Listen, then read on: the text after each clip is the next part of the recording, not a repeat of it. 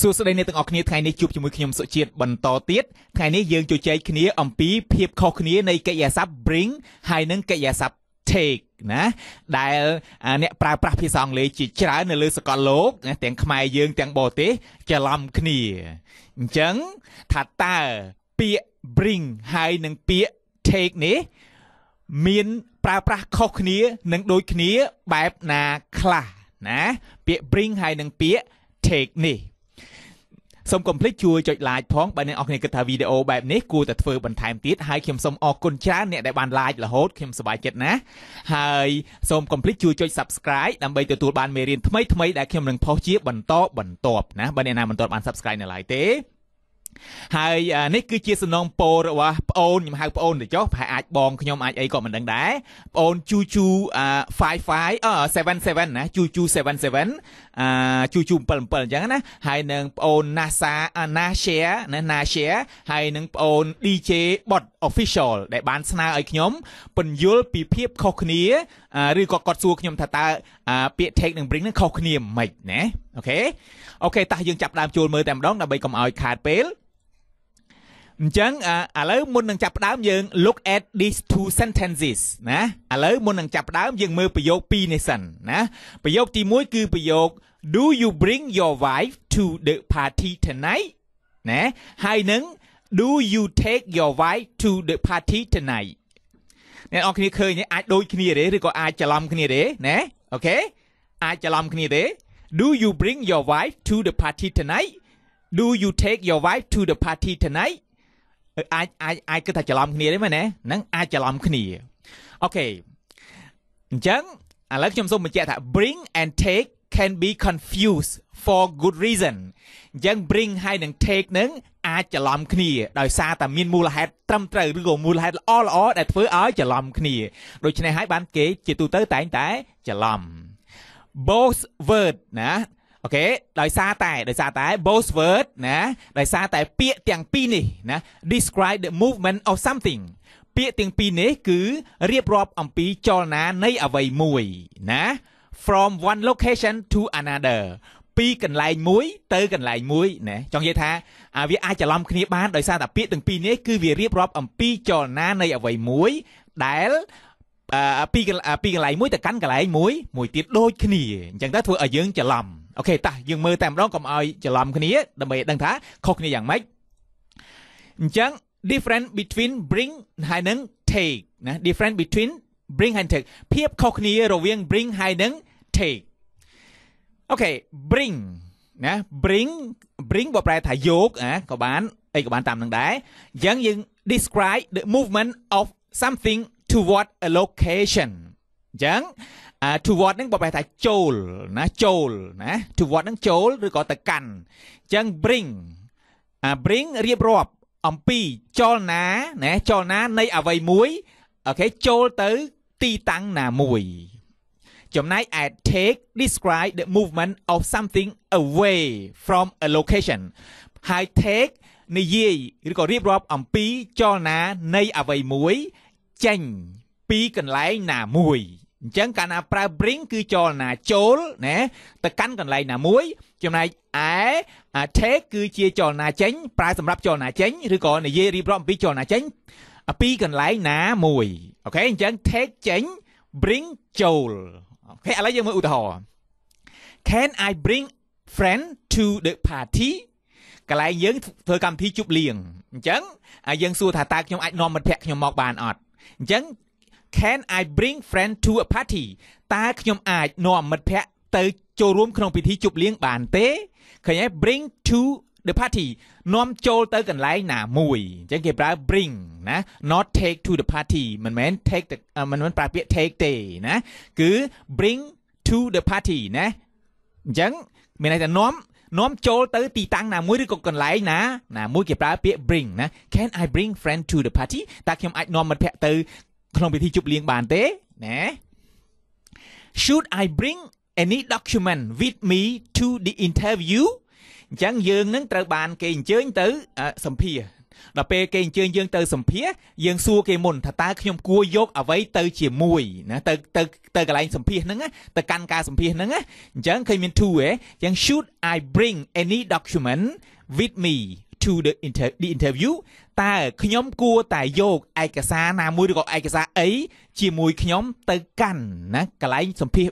ដែរទេឬទៅកន្លែងសម្ភាសដែរទេអូខេអញ្ចឹងវាបង្ហាញពីចលនាចូលទៅកន្លែងសម្ភាសឥឡូវគឺចលនាចូលទៅកន្លែងជប់ជប់លៀងឥឡូវយើងមើលបន្តទៀត I have to take ណា garbage out tonight អញ្ចឹងខ្ញុំត្រូវឃើញទេ take out កាលណា take គឺយកចេញហើយអូខេ I have to take uh, the garbage out tonight អញ្ចឹងខ្ញុំត្រូវតែណាខ្ញុំត្រូវតែយកសម្រាម ចេញនៅពេលយប់នេះបើទុកស្អុយអញ្ចឹងយើងត្រូវយកចេញនៅពេលយប់នេះអញ្ចឹង take out គេប្រើ take កាលណាយកចេញចលនាយកចេញគឺនេះ something away from location គឺយើងប្រើ take ណាយកចេញពីកន្លែងណាមួយ ណាកាលណាមានន័យអញ្ចេះគេគេអត់និយាយទេពាក្យថាយកចេញពីក្នុងផ្ទះយកចេញពីក្នុងបន្ទប់មានន័យថាវាគេយល់ហើយថាយកចេញពីក្នុងបន្ទប់ឬក្នុងក្នុងផ្ទះឬក្នុងកន្លែងធ្វើការអីចឹងទៅណាអត់ប្រើ bring ទេ bring តលតែយកចូលក្នុងកន្លែងណាមួយបានគេប្រើ bring do you want to take any leftover uh, home អញ្ចឹងយើងទៅញ៉ាំបាយនៅភោជនីយដ្ឋានយើងទៅញ៉ាំបាយទៅជប់លៀងគ្នាច្រើនដល់ពេលអញ្ចឹងវាសល់ម្ហូបច្រើនអញ្ចឹងអឺអឺអ្នករត់តុកគាត់សួរថា do you want to take any left over left over គឺអាម្ហូបសល់គឺរបស់ដែលសល់ណានិយាយឬម្ហូបសល់តែម្ដងណា home ទៅផ្ទះទេអញ្ចឹងតើអ្នកចង់យក អឺអ្នកចង់ខ្ចប់ឬក៏ចង់យករបស់ដែលនៅសល់ឬក៏ម្ហូបដែលនៅសល់ទៅផ្ទះទេអញ្ចឹងយកនឹងគេប្រើសំដៅទៅយកចេញពីភោជនីយដ្ឋាន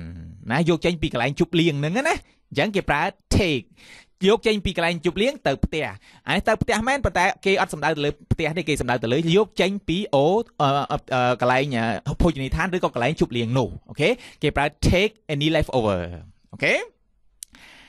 take your belonging with you when you are leaving ណាសូមប្រយោគនេះប្រយោគបង្កប់បញ្ជា សូមយកនៅ របស់មានតម្លៃរបស់អ្នកណាឬក៏របស់ទ្រព្យអីវ៉ៃអីវ៉ាន់របស់អ្នកជាមួយអ្នកណាសូមយករបស់មានតម្លៃឬក៏ទ្រព្យសម្បត្តិរបស់អ្នកឬក៏អីវ៉ាន់របស់អ្នកឬក៏របស់មានតម្លៃ with you ជាមួយអ្នកណា when you are living ពេលដែលអ្នកចាកចេញអូខេឃើញគេនិយាយពីរឿងចាកចេញគេប្រើ take អូខេសង្ឃឹមទាំងអស់គ្នាយល់ច្បាស់ជាងមុនតោះយើងមើលតទៅទៀតមានចំណុចល្អជាច្រើនទៀតដែលអាចនឹងងាយយល់ some sentences um some more sentences ខ្ញុំសូមបង្ហាញប្រយោគមួយចំនួនទៀតដើម្បីឲ្យអស់គ្នាកាន់តែយល់ច្បាស់ណា អូខេខ្ញុំសូមបញ្ជាក់ផងដែរអ្នកទាំងអស់គ្នាថារហូតមកដល់នេះខ្ញុំមានវីដេអូមេរៀន848វីដេអូហើយអេឥឡូវមេរៀននេះទី49ហើយអាមុនត្រឹម48អញ្ចឹងអាអាមានមេរៀនតាពីមេរៀន lesson 1មេរៀនទី1រហូតដល់មេរៀនទី848ហើយខ្ញុំសូមអរគុណដល់បងឆែមឆននៅសហរដ្ឋអាមេរិកដែលបានស្នើឲ្យខ្ញុំដាក់លេខរៀងដើម្បីឲ្យគាត់ស្រួលមើលអញ្ចឹងណាហើយនឹងអ្នករៀនភាសាអង់គ្លេសដែលមើលមេរៀនវីដេអូខ្ញុំហ្នឹងទាំងអស់គ្នាបានងាយងាយស្រួលក្នុងការរកណាពីមេរៀនទី1រហូតដល់មេរៀនទី848ណាពួកអ្នកខ្លះអត់ដឹងថាខ្ញុំមានវីដេអូច្រើនអញ្ចឹងទេប៉ុន្តែអ្នកខ្លះក៏បានដឹងហើយអូខេអញ្ចឹងអរគុណបងឆែមឆនដែលបានស្នើឲ្យខ្ញុំធ្វើអញ្ចឹងទៅមានអ្នកខ្លះប្រាប់ខ្ញុំថាអូពេលដែលបងធ្វើអញ្ចឹងខ្ញុំងាយស្រួលក្នុងការរកជាងកាលពីលើកមុនលើកមុនពិបាកណាអរគុណច្រើនតោះយើងចាប់ដើមជុំមើលបន្តទៀត some more sentences ណាប្រយោគបន្ថែមទៀតណាប្រយោគបន្ថែមទៀតឬក៏ប្រយោគផ្សេងទៀតតកតងទៅនឹង bring and take bring your homework to me អូខេចឹង bring to me ទោះបីជា me ហ្នឹងមិនមែនជាទីកន្លែងក៏ដោយប៉ុន្តែមកកាន់ទីតាំងកន្លែងខ្ញុំនេះចង់និយាយ bring your homework ណាប្រយោគនេះគេហៅប្រយោគប្រកបវិជ្ជាណាបកប្រែថាសូមយកកិច្ចការផ្ទះរបស់អ្នកណាមកឲ្យខ្ញុំណាសូមយកកិច្ចការផ្ទះអ្នករបស់អ្នកមកឲ្យខ្ញុំឬគឺមិនថាមកកាន់ទីតាំងដែលខ្ញុំកំពុងតែនៅនេះអូខេគេប្រើ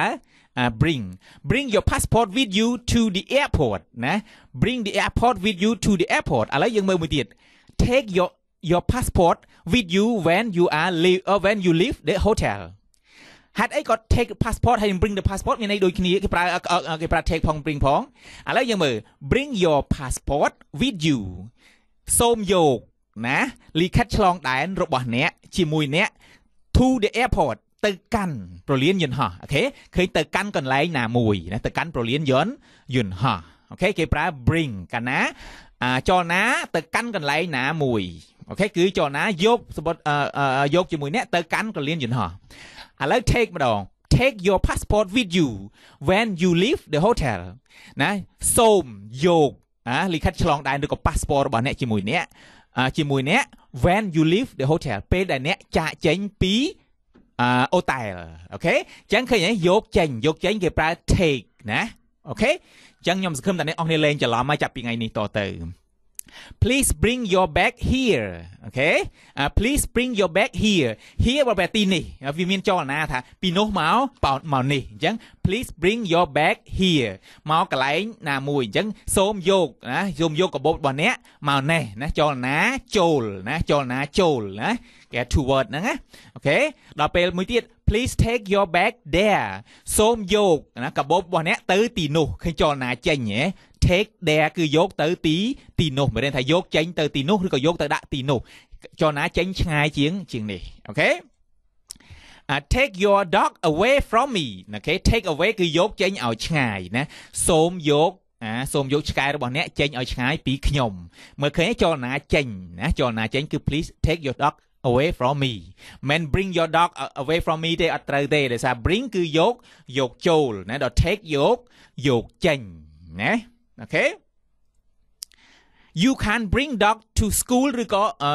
you can bring dog to school ណាអ្នកមិនអាចយកឆ្កែទៅសាលាបានទេ នៅប្រទេសគេគេចូលចិត្តចិញ្ចឹមឆ្កែគេស្រឡាញ់ឆ្កែច្រើនអញ្ចឹងអ្នកខ្លះអាចយកឆ្កែទៅសាលារៀនក្មេងៗណាអញ្ចឹងក្នុងបទបញ្ជាផ្ទៃក្នុងរបស់សាលាថា you can bring dog to school អ្នកមិនអាចយកឆ្កែទៅសាលារៀនបានទេណាអូខេអឺអញ្ចឹងយកទៅកាន់ទីតាំងណាមួយគេហៅថា ប្រើ bring ណាឬក៏ you can bring dog here អ្នកមិនអាចមិន to here ណា here ទៅទេណាអ្នកខ្លះប្រើ to here អត់ត្រូវទេអឺអ្នកមិនអាចយកឆ្កែមកទីនេះបានបានទេណាន័យចលនាចូលមកទីនេះអញ្ចឹងគឺគេប្រើ bring អូខេចំណាំចំណាំ bring and take សម្រាប់ពាក្យ bring and take នេះ for many native speaker okay bring and take are often interchangeable in colloquial speech and writing អ្នកនរគ្នាត្រូវតែចាំណាទោះទៅបីជាមានក្បួនមានបែបបទមានវេយ្យាករណ៍អីក៏ដោយប៉ុន្តែ for many native speaker សម្រាប់ណាអ្នកនិយាយឬក៏អ្នកម្ចាស់ភាសាដើមមួយចំនួនជាច្រើន bring ហើយនឹង take នឹង are often interchangeable ពាក្យ bring ហើយនឹងពាក្យ take នឹងជាកិច្ចស័ព្ទហ្នឹងណាគឺអាចបដូរគ្នាវិញបានទៅវិញទៅមក in colloquial speech នៅក្នុងភាសានៅក្នុងការនិយាយសន្ទនាឬក៏ក្នុងភាសាទូទៅភាសាធម្មតា and writing ហើយនឹងភាសា សរសេរផងដែរអញ្ចឹងគាត់ប្រើច្រឡូកច្រឡំគ្នាហ្មងដោយគាត់ថាគាត់គិតថាដូចតែគ្នាទេអញ្ចឹងទៅណាសម្រាប់អឺអឺម្ចាស់ភាសាមួយចំនួនឬក៏អ្នកប្រើប្រាស់មួយចំនួនក៏គិតថាអញ្ចឹងដែរប៉ុន្តែយើងសំដៅទៅលើម្ចាស់ដើមព្រោះម្ចាស់ដើមគេដឹងខុសដឹងត្រូវជាងយើងដែលជាអ្នករៀនភាសាគេអញ្ចឹងណាអូខេ bring the report to me with uh, bring the report with you ណាសូមយកណាសូមយករបាយការណ៍ទៅជាមួយជាមួយអ្នកទៅអញ្ចឹងណា take the report with you ណាអាតែប៉ិតប្រយោគពីរនេះផ្សេងទេគេចង់និយាយថាមានន័យដូចគ្នាណា take the report with you យកសូមយករបាយការណ៍ជាមួយអ្នកទៅជាមួយអ្នកទៅអញ្ចឹងណា bring the money with you ណាយកលុយទៅជាមួយអ្នកផងឬក៏ take the money with you ណាយកលុយទៅជាមួយអ្នកផងប្រើបានដូចគ្នាអឺទោះបីជាអឺវាចេះសំខាន់ទី1ម្ចាស់ភាសាជាច្រើនគឺគេគិតថាវាដូចគ្នាហើយគេប្រើជំនួសគ្នាវិញបាននៅក្នុងទៅការនិយាយក៏ដូចជាក្នុងការសរសេរដែរហើយប៉ុន្តែ ភាសាអង់គ្លេសសម័យទំនើបភាគច្រើនគឺគេប្រើច្រឡូកច្រឡំគ្នាណាប៉ុន្តែបើប្រើឲ្យត្រូវសូមអ្នកទាំងអស់គ្នាមើលទៅខាងដើមអ្វីដែលយើងបានរៀនមកថាតើគេប្រើ bring មិនគេប្រើ take មិនអូខេឥឡូវខ្ញុំសូមសង្ខេបទៅចុះ bring ណាអឺបកប្រែថានិយាយអំពីណា bring និយាយអំពីចលនាចូលឬ ចូលទៅកាន់កន្លែងណាមួយ bring គេប្រើអញ្ចឹងណាហើយ bring បើប្រែថាយកមកណាឬក៏យកទៅកាន់កន្លែងណាមួយណាបើសិនជាមកមកកន្លែងទីតាំងដែលយើងយើងកំពុងនៅហ្នឹងគឺគេប្រើ bring អាយកបើថាយកមកឬក៏បើយកទៅកន្លែងណាមួយឈ្មោះទីតាំងមានឈ្មោះទីតាំងត្រឹមត្រូវគឺគេប្រើពាក្យយកទៅកាន់កន្លែងណាមួយ ចំណែក at take វិញគឺយកចេញអឺ អូខេ take និយាយអំពីចលនាចេញណានិយាយពីចលនាចេញគឺគេប្រើ take ហើយឬក៏យកចេញទៅកន្លែងណាមួយនិយាយពីចលនានៃការយកចេញទៅកន្លែងណាមួយគេប្រើ take បើបកប្រែវិញបកប្រែថាយកចេញឬក៏យកចេញក្រៅឬក៏យកទៅកន្លែងណាមួយឲ្យឆ្ងាយមានន័យថាចលនាចេញ